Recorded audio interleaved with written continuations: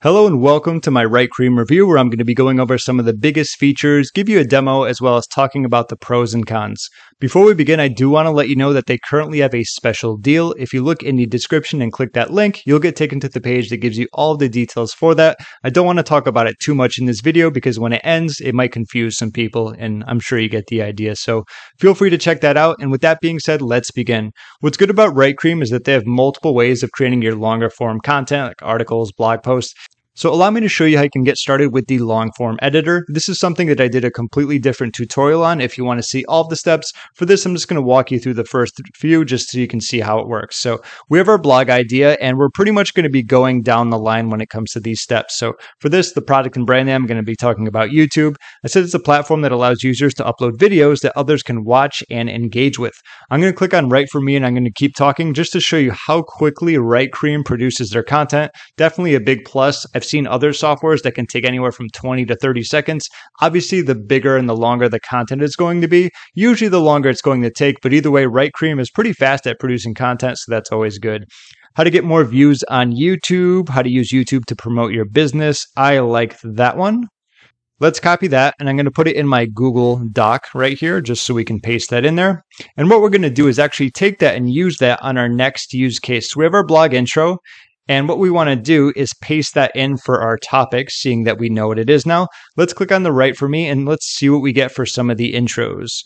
It might be new for you, but you can learn a lot from other professionals. There are some great YouTube videos that are helpful in the marketing process. This blog will show you some of the ways you can use YouTube to promote your business or brand. Oh, let's look at the last one. Just skip there. It's a little bit longer. It's the go-to platform for all purposes. It's the equivalent to the internet in its own right and can offer a lot of benefits to businesses and brands, especially if you utilize YouTube in the right way. To truly maximize YouTube as a marketing tool, you need to know the rules that govern YouTube videos. You also need to know how to post, share, embed, and optimize your videos so you can start to see success. This video, or excuse me, this video, this blog will show you how. That one looks great. So I'm going to copy this. This would be our intro. And I'm just going to copy this. And what we're going to do is just pretty much go down the line here. So we have our outline. And I think this is the same. Okay, that's going to be there. So now that that's there, let's click on Write for Me and we're going to get an outline so that we can take each specific section and then use those for paragraphs. So what is it? How can you use it to promote your business? How to use YouTube for free for paid promotions? Business brand, how to use it for marketing, a little repetitive, like how to promote your business and how to, to use it for your business, which is kind of same. You could probably uh, remove one of those. This one looks good. There's a wide variety of things aside from like what types of videos to use. Probably, yeah, there's some good stuff to talk about there. I talked myself out of it. Anyway, I'm just going to show you one more step. What I'm going to do here is so we have how to use YouTube to promote your business, how to how to get YouTube views. Uh, let's see what's the best time to post your video. I'm going to go with this one. And anytime we want to pick a sub headline, all we need to do is go to the next one, which is going to be blog heading expand. And what we need to do is just put it right here. So give me a sec. I'm going to add it in. So I added that in there and let's click on write for me and we're going to get some content related to that. Okay. So let's go to the last one. YouTube is a powerful tool that can be used to promote your business or brand. There are many different ways to use YouTube to promote your business. You can create a YouTube channel, which is a place to upload videos that are related to your business or brand. It's possible to build the video's SEO by adding keywords to the video title and description. Another way to use YouTube to promote your business is by creating a YouTube channel for your business or brand. A little bit repetitive, so I'm going to say that one isn't my favorite. And if you don't like them, what you can do is just click on Write for Me again, and let's see what we get. Here we are. Let's look at the top one. How about the middle one? Sure, let's go with the middle one right here. YouTube is a great platform to promote your uh, brand or business. Best way to do that is through a YouTube channel. This is a master account that you will use to create videos and then upload them to your YouTube feed. The feed is the home of all your videos, and when someone visits your YouTube feed, they'll see all of your videos in one place. When you create videos, you should think about what your audience would find entertaining. If you want to create videos that are informative, you should consider including a short video about your business with a call to action at the end. This will help you to spread the word about your business and grow your business overall. So overall, that pretty much is answering what we're looking for. Probably wordsmith that a little, right? Uh, a few things in there. But anyway, what you would do is pretty much go through, you would select your next headline that you'd want to use, you would copy that, and you would just put it in here and then create more. So that's the process going through that. So you would do the blog heading expand multiple times. And of course, you have the conclusion, which you can do something similar. If you want something that's going to be much quicker, there is definitely a faster way of doing it. Here is the AI article writer. So all you need to do is put in a topic. I've noticed that if you put in a very uh, large and like broad topic, you're going to get a lot more ideas to create from. If you already know your topic, like how to use YouTube to promote your online business, you can put that in there. It's not going to give you a lot of ideas, like specifically for the fact that it's very niche down. You know what it is. But if you go broad, you're going to get some better ideas. So I decided to go broad. Let's click on this and get some ideas. YouTube marketing, how to get people to watch your videos. We can look at some others. How to get started with YouTube marketing, 10 expert tips to increase revenue on YouTube, how to find and use YouTube as a marketing tool, how to market your YouTube channel. I like this one for beginners. So now that that's there, you'll notice like the steps are so much easier now. Now all we need to do is click on generate intros. Okay, it's very powerful. It's diverse, can reach markets. Uh, it's a complex. We'll touch on how to set up a YouTube channel, how to structure video content, how to use analytics. That looks good. Let's click on next step. Once again, you'll notice it's a much easier process. Let's click on the outlines button and see what we get how to set it up, why you should create it, how to structure your video content, analytics, what is it, uh, just kind of quickly going through. And overall, something I've liked about Writecream is that it doesn't go off the rails all too much. Like a lot of AI copywriting tools can do this every now and then, but not too long ago, I was doing like uh, an article builder using this specific feature, and it was like something marketing related and then like one of the outlines was like is this the best t-shirt for your pet dog or something like that? I was like hmm this one doesn't seem to match as much as i wanted to. So there are instances where that happens but in my experience it doesn't happen enough to be like all right this is a problem okay? But anyway i'm going to go with this. Let's click on next step and just like that, we have our title, we have our intro, and we have our section. So pretty much what it's going to do for you, instead of actually going through in all these steps, it's pretty much going to do it for you in the background. So let's click on write the article and see what we get. All right, so there we go. How to get started with YouTube marketing. This is our intro that we talked about. This is going to be how to set up a YouTube channel, of course. So, why you should create a YouTube channel, how to structure your video content, which is right here and right here, and how to use the YouTube analytics. So, I'm not going to go through these too much. I'll read one. Let's see how to set up YouTube channel. This one's a little longer, but I'll, I'll go through quickly. It's a great platform for marketing. and can be used to create a business. It's not a good idea to start a YouTube channel if you have no idea how to use it. You need to spend time learning how to use it and finding out what you can do with it. The first step is to create a YouTube channel. You can do this by visiting the YouTube website and clicking on the Create a YouTube Channel button. Next, you need to choose a username for your channel. You should also make sure you choose a username that is not already taken by other users. It is also important to make sure you choose a username that is easy to remember. Finally, you should choose the privacy settings for your channel. Some people may want the channel to be private, while others may want the channel to be public. Uh, probably want to go with public on that one, right? It is important to choose the privacy settings that work best for you. Once you have created your YouTube channel and selected the privacy settings, it's time to start uploading videos. So that's kind of giving you an idea of the content that comes along with it. Something else that you can utilize, which I really like, is the paragraph paragraph generator. This is probably one of my favorite templates, not just with Writecream, but just in general for AI copywriting. This is probably one that you would use the most because like anytime you're like, oh, what, what should I write? Just throw it into here, right? You don't need to get a ton of content, but it's something that'll do it for you. So for this, I did a completely different topic, the benefits of eating protein for athletes. Let's click on generate, which shouldn't take too long, and let's see what we get. Like I said, I talked through that, didn't take that long at all. It's important because it helps with uh, recover muscles for strenuous activity, also helps with muscle growth and repair. However, not all protein is created equal. If you're an athlete, you should eat a variety of proteins, including dairy, fish, red meat, and poultry. Not bad. Like we're talking about on point here in terms of what we're asking for. Protein, helpful for athletes, and so on and so forth. Talking about what it is, the central block for muscles. It helps boost your metabolism, which can increase performance during exercise. Talking about more of that. Uh, eating a well balanced diet, we get the calories and nutrients to fuel your daily activities. When it comes to eating foods to fuel your exercise performance, it's not as simple as choosing this or that. This one could be better. It's it's kind of online. It's not necessarily about like athletes and protein though. When it comes to building muscle, protein is a key ingredient. Talking more about how much you should get, where you should get it. Overall, not bad. Like I said, I really like the paragraph generators. It's great if you just need a little bit, a quick burst of energy in terms of content. Talk about what you need to talk about, and it'll just create it for you, give you plenty of ideas where you can roll with one or maybe combine both of them together and kind of trim them away.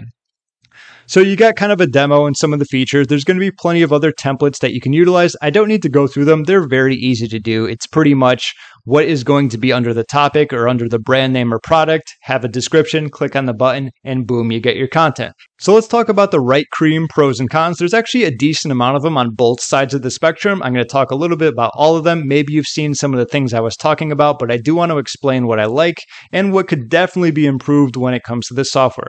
So overall, I would say the quality is just good. It's not fantastic. It's not excellent. It's not the best in the world, but it'll definitely get the job done, especially for the fact that you can always just create more content if you need to. You know, when if you see something you don't like, just hit, hit the write for me button again. It gives you plenty of options to choose from. And like I talked about before, it doesn't really go off the rails too much. Every now and then, like I said, there was like that dog, the best shirt for your dog or something random like that. I got a laugh out of it, but there are times with softwares where it just comes up so much where it's like, all right, we're getting into a problem now. I haven't personally seen that with Writecream, but just keep in mind it could come up every now and then. Something else that's good is the multiple ways of creating articles. Whether you want to use the long form editor or you want to use the article writer, which I showed you both, one's going to be much quicker and faster. However, with the article writer, I feel like you don't have as much flexibility with this. It kind of gives you each of the sections. While you can edit them, I like having more freedom, like in a long form editor where I can doodle around, change things, and kind of have a little bit more flexibility in what I want to write and do overall. I talk about this a lot. Usually, if something is easier to use and there's like few steps to do it, you have less control over it. However, if you're given more control, you usually get more power with that and more flexibility. So it's kind of like a give and take depending on what you need. The good thing though, once again, there is the long form editor and the article writer. So you get to really pick which way you want to tackle your articles. Aside from that, it does have good pricing at the time. There is that special deal if you want to check that out, which helps definitely make Writecream worth it, especially for the fact that you get a good amount of content for a pretty good price, especially for the fact a lot of times you have to pay recurring. Now, on the other hand, are going to be the cons. So, one thing that I, I don't know if I got to talk too much on, but I'm going to show you specifically, there is a very strong emphasis on using products and brand names. Okay. I like a little bit more freedom when it comes to a lot of the use cases and templates. I'm going to give you an example here when we have to say the blog outline, if you are going to create a blog, you might want to create something on anything random. You might want to talk about a product. Maybe you're like me, you love talking about products, you review them, you demo them, you talk about features. And a lot of times you're kind of just locked into talking about products and brand names. This isn't going to be a problem for anyone who has their own product, their own brand, or maybe just talks about other products and brands. But for the moment, there's a lot of these templates where maybe I just want to talk about a topic that doesn't have a product or brand name. And because of that, I feel you kind of get locked in a little bit more towards doing that. For example, I put Writecream in here once just to give an example, talked about the blog topic, and I'm like, well, maybe I want to do a Writecream review. Okay. And then what happened? The, the software started calling the software Writecream review. Okay. So I feel it could be a little bit better when it comes to that. And what I mean by that is the paragraph generator, which we just recently did. Notice how there's just a topic, there's no product or brand name. When you have that flexibility of just being able to put a topic, you could talk about Writecream, you could talk about a Writecream review, you could talk about eating healthy food, you could talk about dogs putting on their socks one by one, you can talk about anything. So I love I would love if there was a little bit more flexibility when it comes to the use templates. I want to talk about topics. I want to talk about a lot of wide variety of things. Okay. And last but not least is going to be the plagiarism checker. I did a video on this previously. And after this, my thoughts on it, it's just really bad. There's no real way around it. This needs a lot of improvement. Uh, before I saw like a flaw in it, and now I've seen a few more flaws. Either way, it's not going to detract from the overall value of Writecream, but this is just one little specific section in it that needs to be improved, in my opinion. For example, what I did, I went to my website and I plagiarized 100% and when I say that, I copied my own work. I put it in here, and of course, it came up plagiarism. Okay, that's good.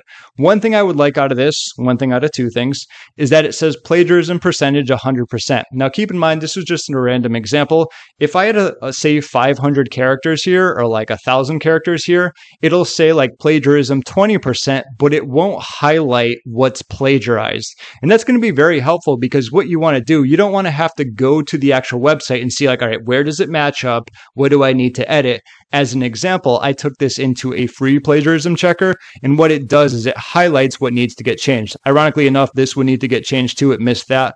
But either way, that's something I think could definitely be improved.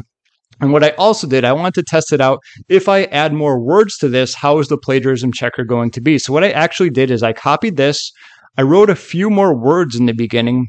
And as you, can see here, I clicked on check for plagiarism and now it's saying 0% despite the fact that I still had my other content here. So all in all, this plagiarism checker uh, section, this feature is just no bueno in my opinion. Uh, you don't want to use something and have it be like, yeah, it's completely good to go, yet I blatantly copied work from my own website. Let me click on check for plagiarism. Maybe it'll change. Maybe it won't. Let's just see. And once again, so plagiarism mm-hmm. percentage zero, despite the fact that's there. Let me delete this. This is what I copied from my own website. Let's click on check for plagiarism. Let's see what we get. Waiting for it. Waiting for it.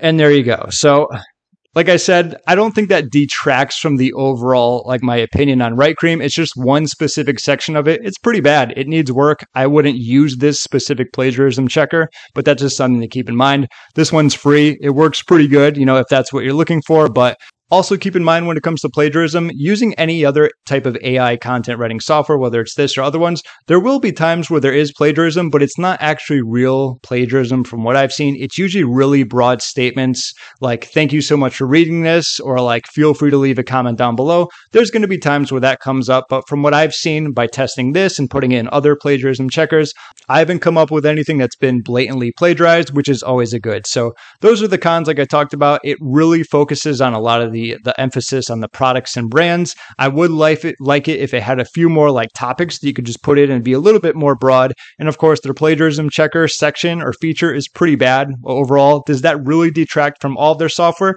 Not really. Some people might think so. Some people might not think so. That's really up to you. That's why I do these reviews. Overall, I wouldn't fault you if you got this, and I wouldn't fault you if you didn't. But that's going to be my honest review when it comes to Writecream. If you want to check out that special deal, the link will be down below. And if you have any other questions, feel free to leave a comment. And I think that's about it. Thank you so much for watching, and I hope you got some value out of this video.